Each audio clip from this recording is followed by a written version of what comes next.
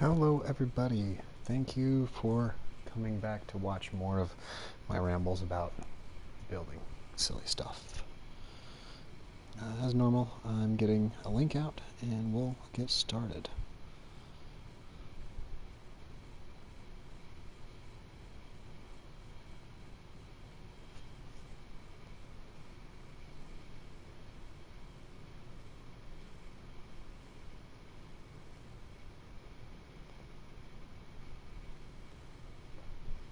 So today, um, if you followed episode four, I built a floating spiral staircase in one of the castles, uh, and then after, um, after I was finished building, uh, after I was finished streaming, actually, I um,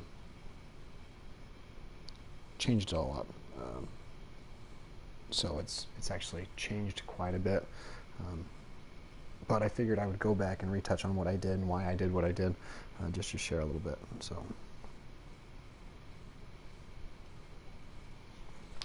all right, just go into the light. All right, so if let's start over here. Um, floating stairs. So uh, what I consider floating stairs, actually I would consider both of these to be floating stairs. Um, however, this would be typically what they look like. Um, and then non-floating would be when you have blocks going all the way to the floor underneath them. Um, and then basically you use these larger blocks, or the full blocks, in order to be a base for the actual step. So this is the base for that. Um, so they, in my opinion, I don't think they look good with these blocks in here. So you have the option to, uh, you know, remove the blocks but then they look uh, almost really unrealistic. So um, there's other things you can do to have a, a floating stair that's a little more minimal and still looks good. So basically what you do is, and I know I've talked about this before, but I, I haven't really touched base on why or how, um, but basically what you do is instead of putting full blocks underneath, you put in a set of stairs. So this block is a set of stairs that's underneath this one, and it's essentially just upside down. Um, so as easy it is to build a set of stairs, oh, that's not right. You just blocks and stairs. Well, it turns out that building a nice floating staircase with just only stairs is also really easy to do and just in my opinion, looks better. So this may give you a little bit of trouble um, if you don't know exactly where to, to place your cursor, but basically you just attach these stairs onto the backs of those stairs. Now if your cursor is not in the right place, then it may, it may flip wrong. Yeah, so it's actually, see like that. Aha. There we go. Uh, it's actually easier to build them this way and I feel like they just look better. Uh, better. So here in a second, we're going to talk about spiral staircases. Um, so I know I touched on this. I believe I did a little bit of building in here. Maybe not. Let's see if I did. I did. Uh, on square towers, it's easier to... hello, Creeper. How are you today? On square towers, it's really easy to put kind of a spiral staircase that leads up the walls go up, turn left, go up, turn left. It's a shame these don't turn right. But uh, for some reason that was just the, uh, the way that I went. Smile. Yeah. Anyway, uh, so these are really uh, easy to do, but if in a circle tower it's difficult to do staircases that follow up the outside of the walls. Uh, so for a circular shaped tower, uh, like I've got more than a few here on the map, it's easier to do a, a, floating spiral staircase. So if you watched uh, episode four, which was a silent, a silent episode, um, you got to see me building those. Now, um, if you did watch, uh, I appreciate it very much. Uh, but they uh, they have actually been changed since that video was over. I probably spent another I don't know 30 minutes playing with them and just getting them to be exactly how I wanted. So this is a very large spiral floating staircase and uh, uh, when I built it on episode 4 it was actually only two bricks wide in total. I ended up adding an entire third row uh, just so I could add the hand railing and the, the lamps, which uh, the torches, which I, I feel fit very well. Um, now, when I originally built these, I built them with a center column of bricks uh, to kind of give me a guide to spiral around. And I thought, oh, how convenient. And you guys know me, I love I love beacons, so I was like, oh, that's really convenient. I'll just put a beacon up the middle of it. Um, and then at the end of the video, uh, I ended up actually making a really sweet, like, roof kind of a thing to go over it. And then today, I got to mess around with it again and just wasn't happy.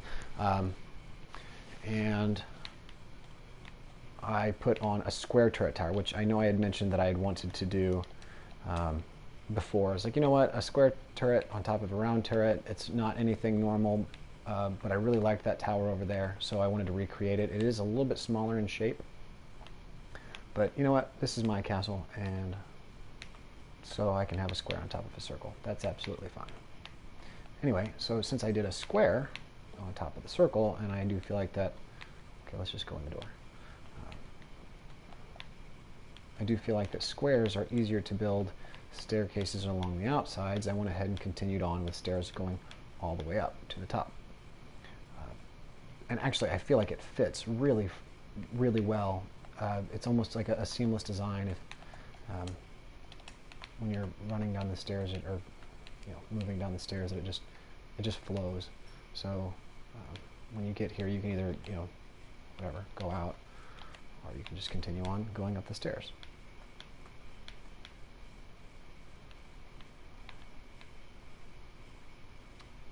I I love towers I really do looking for something to see if I couldn't snipe something but then you'd probably get to see me fail so maybe it's best that I didn't find anything. There's a witch.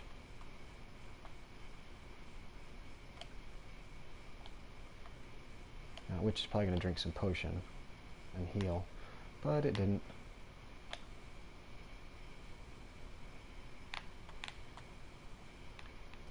I don't want anything to do with that.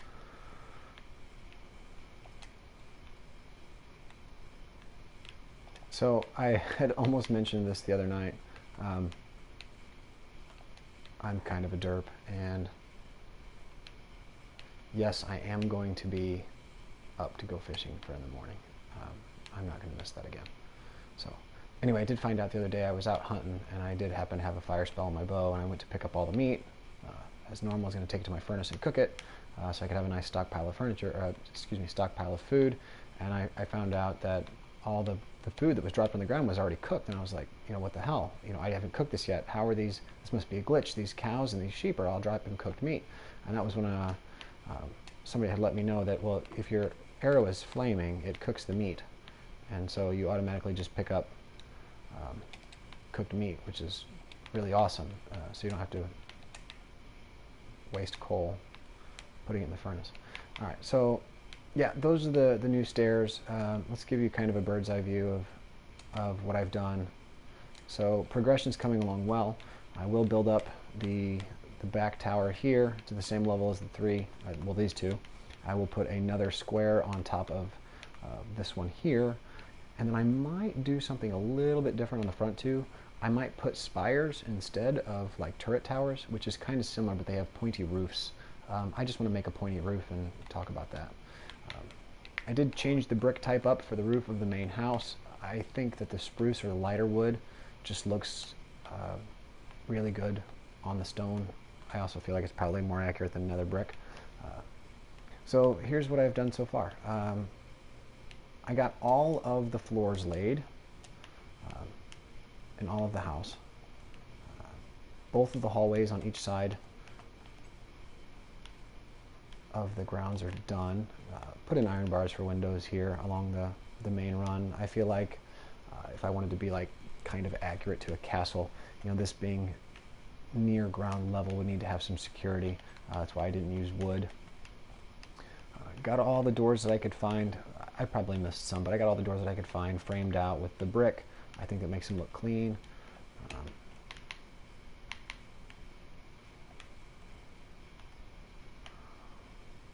So I've got these little areas in between uh, the circle turret towers and the main house. Uh, now this will have a second floor, so I can actually put a door in here, um, depending on how I'm going to build the house out. But on this side, I just simply made from, like, because the rooms that go in between these don't really do much. So yeah, this will be like in the main house or whatever. But the rooms in between, they don't really do much. So I was like, well, you know what? There's room in here with how I've got the this wall offset. So we can put a trapdoor, and this can just be um, kind of a you know security point. You know, if this castle were being used as an actual keep, uh, we need lots of places for archers and lookers and spotters and stuff. So. Um, unknown if I'm going to have access from the main house to that floor. I just went ahead and put in the stairs right there. Uh, yeah, I got the main house finished. Okay, so I would love for the entire castle to be done in this uh, nice brick pattern, but these things take so long to build, dropping the bricks in, in the circular pattern. Um, the two choices I have is switch bricks in the build, which would slow it down tremendously, uh, or get it fully built and then lay the bricks in afterwards. But I think for kind of the lower level of the house or these big giant turrets, I, I think I will end up doing them in this fashion to break up their shape a little bit. Uh, I did leave a solid line here. Uh, I will fill in these all the way up, but I, I left this line here because this is the base level for everything. Uh, so turn right or left. Anyway, that was the, the main uh, baseline for everything, so I kind of have a separation there. So everything from that point will be the same height. Everything down below that is just what goes down into the ground. Uh, I did, I was conned into building the Ender Portal today. Uh, took me a very, very small amount of time to figure out how to make it. Uh, I did. I went in and then realized you couldn't get out. Um, and the only way to get out is to kill the end dragon. So uh, I killed the end dragon, which I was not very happy about. Um, I don't like the fact that I, I, I did it in God mode. Um, I didn't earn that beating the end of the game. So that was kind of aggravating. Um, and then now, even worse, on this particular map, once I switch over to survival mode, I have killed the end dragon and I can't even earn uh, the ability to kill him again on this map. So I'll have to do it from another map. But um, I'm spending so much time on this this map and this castle um, that I would like this to eventually be kind of my main. However, uh, it would also be beneficial to kill the Ender Dragon in a map that's never been into creative mode. Um, that way I get the proper points for it, proper trophies and all that shit. So.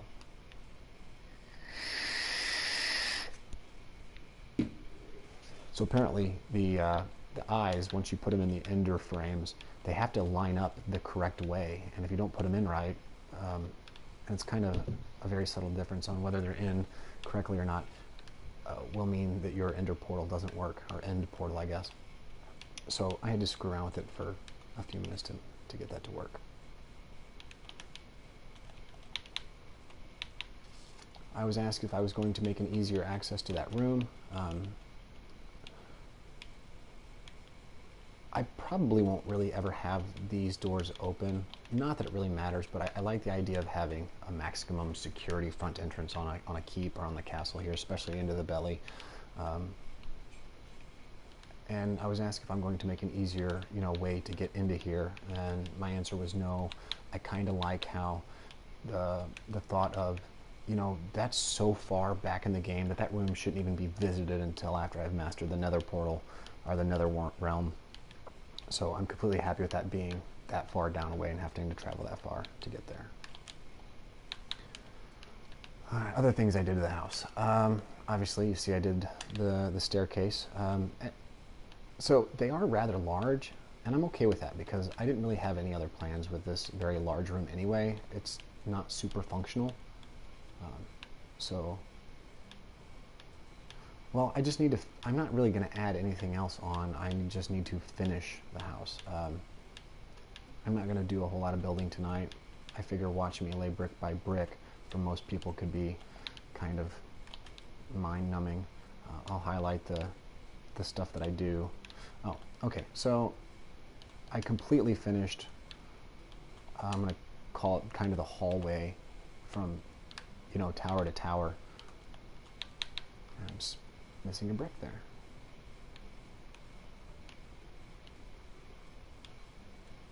I'm not sure how that's possible.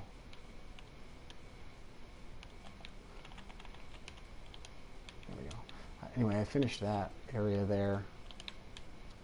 Now I know back in this back room, uh, it's not kind of functional. It's got a giant uh, staircase in it. But since I do have, you know, a hallway leading up, I don't think I'm going to be able to uh, make any type of good connection from here to the stairs without it. I mean, it won't it won't look good at all. So I think I will leave this walled up, and then I will just make a connection into here. So that's the access to here. Um, again, I don't really it doesn't bother me too much that I can't get in here from both sides uh, because again this castle is, is so huge I've got plenty of room for anything else I want to do but I do think however I will make this uh, a second floor on its own and then I'll do something in here I'll make it a, a room full of um, armor sets so yeah Oops. How very unprofessional.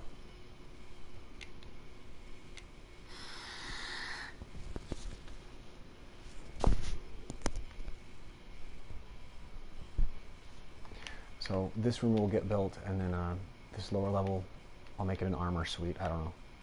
Really, I, I, wanted to make this house for the appearance on the outside, not so much on the inside. I do want it functional, but um, up here, instead of iron bars, I put the wood fences, again with it not being on um, the lower level. I felt like as far as security goes, that wood would be sufficient, and I also like the look from the outside of having the wood. Yeah. I will do the same thing on this side as well. Uh, I did finish one of the doorways in here. I know I've, I've said it, this will be like the third time now. I said that uh, I'll take the doors out of here, make it a full entry archway into the, um, we can call this a lot of different things, uh, the garden area, and then just have you know doors that go in the castle. Now those will give access to up here. Up here I will not create a roof. Um, this would kind of be a place that again if there were troops we'd need to move the line archers up right here. I did realize later that if I were to make these archways bigger, uh, or if I were to take out these steps, I could actually put a wood fence in there, and it would actually kind of look like the wooden gates that go up and down, um, but it's, it's, just nowhere near tall enough. Um, if I put any fences in here, it just blocks my path to walk through. Alright, so um, I guess what I wanted to do was kind of give you just a quick tutorial on how to build a floating spiral staircase uh, in easy fashion. I know I showed you how to, to work on these. Um, I used, in, over in that uh, square turret tower, I actually used a center thing to, to build around. Um,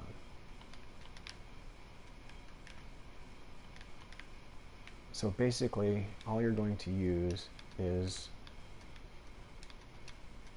the slabs and the stairs. So pretty simple, and then once you get once you get the hang of it, it actually just goes really fast.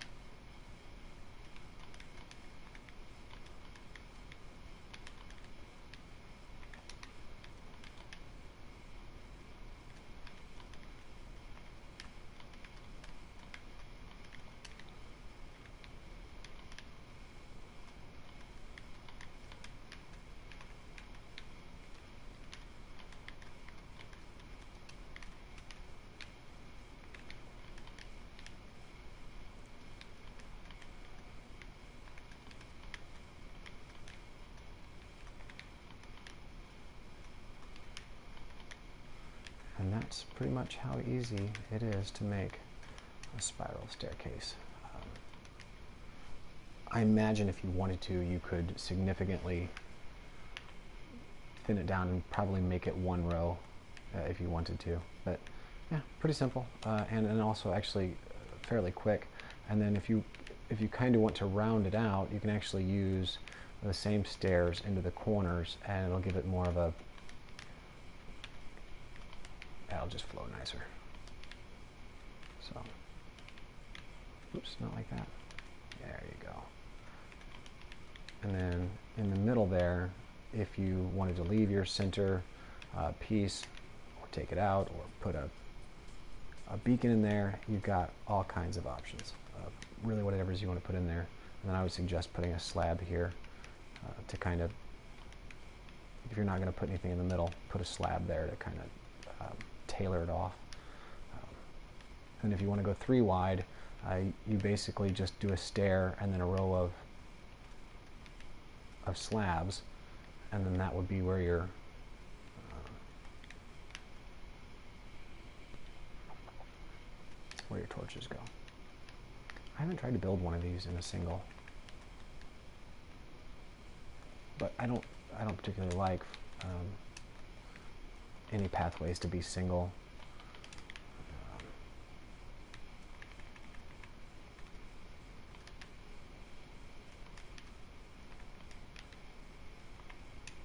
Okay, so yeah, it is absolutely just as easy.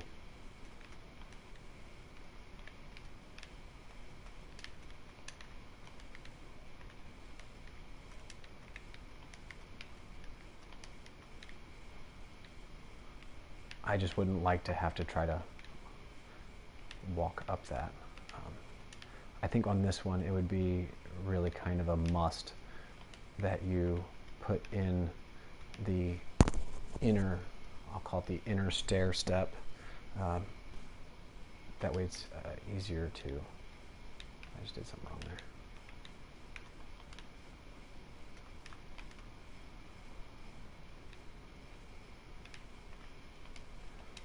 Lost my rhythm. There we go.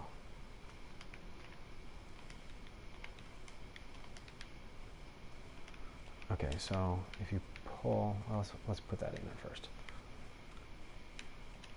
So if you don't have that inner stair there, it would actually be kind of cumbersome to walk.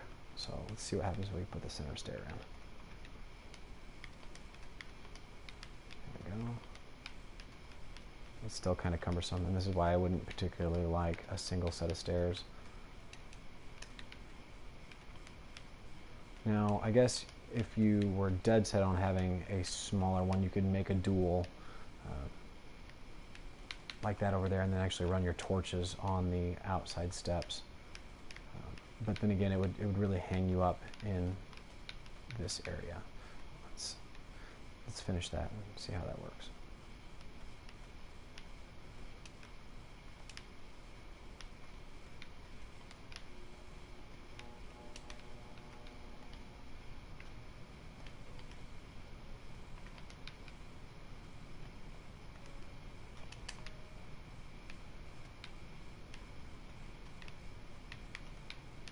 yeah, it's quite cumbersome still. I mean, it's manageable, but on the other side, it does take up significantly less space. So there's your, what I'm going to call floating spiral staircases.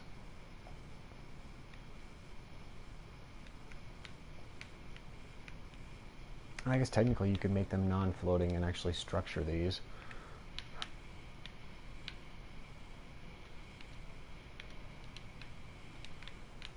Just by uh, putting like wood supports.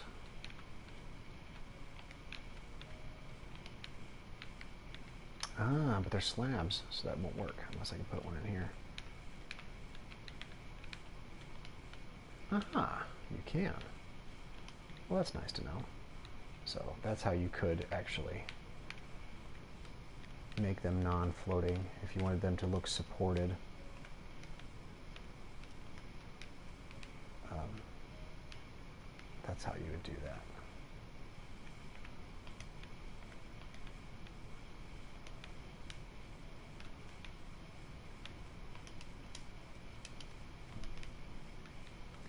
Now let's do that and then still see if these are still functional. I think this slab, that lower slab, is going to be in the way. Oh, cool, clears.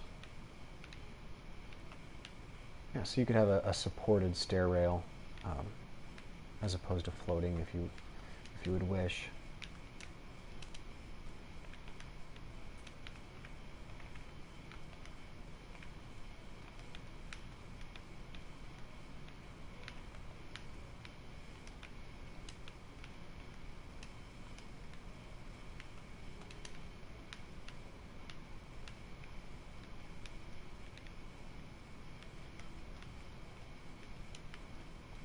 now the advantage of that is this turns into a full brick.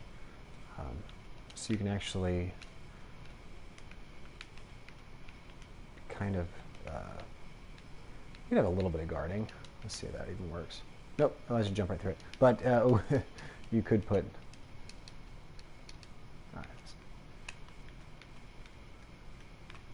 you could make that a series of you know for lighting. To put lighting on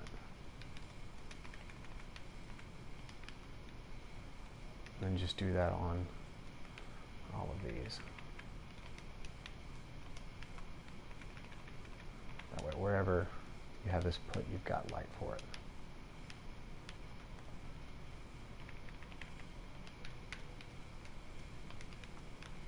Actually, you know what? I don't hate this.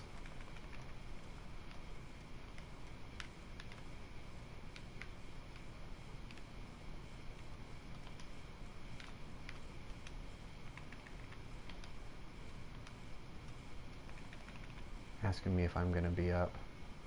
Are you? You're awake now too. I know, but you don't actually require sleep to live. I got you.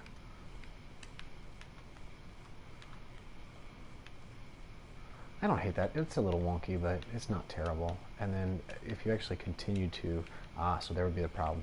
If you have these posts and then your spiral continues to go up, uh, like so, you couldn't have that there. I don't know, I just think that would look bad.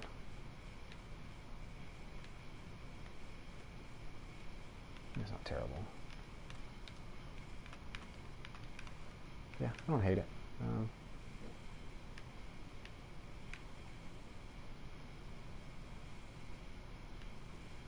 yeah, so stairs, how to do them, upside down stairs, and progression on the castle. Pretty happy about that.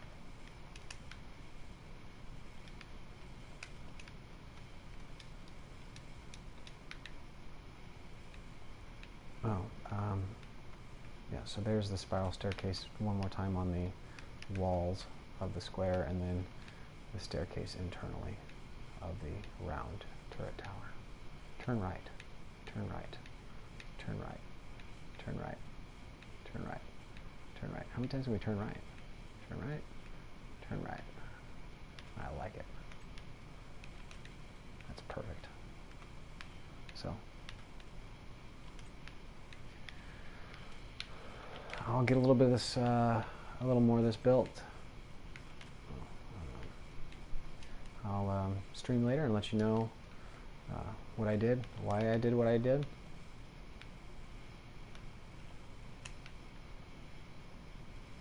and uh, I'll keep you updated. So thanks for coming by and, and watching. And I hope to see you next time. Let's go find a green beacon.